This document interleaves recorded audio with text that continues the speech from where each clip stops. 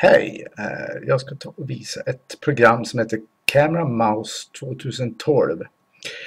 Det är ett program som eh, gör att jag kan styra muspekaren, musen, med till exempel min näsa som jag gjort nu. Ni ser en grön fyrkant i nästippen min som, som gör att jag har helt enkelt en muspekare på näsan. Typ kan man säga. I alla fall. Det här programmet har till exempel inställningar som gör att jag kan kalibrera hur känslig näsan eller muspekaren är. Jag kan ställa in så att jag dubbelklickar, det vill säga att jag kan öppna filer eller program med näsan. Bara att peka på den fil, program, ikon jag vill öppna. Eh, jag ska visa lite funktioner här. Jag kommer inte gå in på, på inställningar och sånt, utan nu är det bara att visa hur det, att det här fungerar så att säga.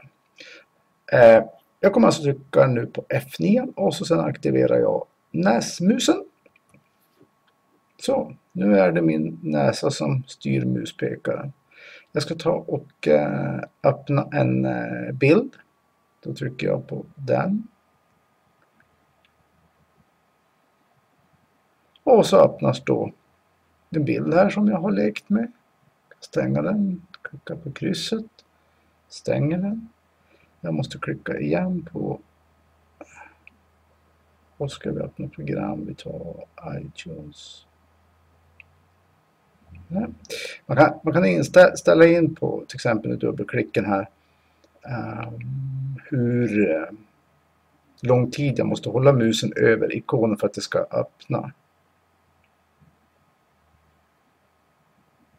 Men han vill inte riktigt ta det där, det ska vara tusan.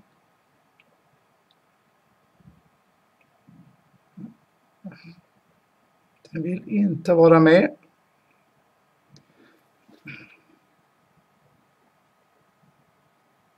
Den är lite känslig idag. Jag har lyckats förut ganska enkelt att bara markera där och så sen provar något nytt. Nu.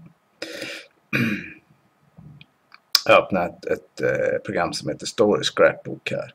Ja, men som ni ser så, så är det som inga större bekymmer. Ska se om jag kan stänga Story Scrapbook med näsan. Nej, jag tar och kopplar över till min vanliga mus här.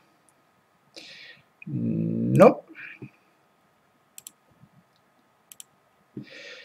Det är inga större bekymmer som ni ser. Eller ja, bekymmer är det väl alltid. Men, men det är väl en träningssak att man får öva sig fram till hur saker och ting fungerar.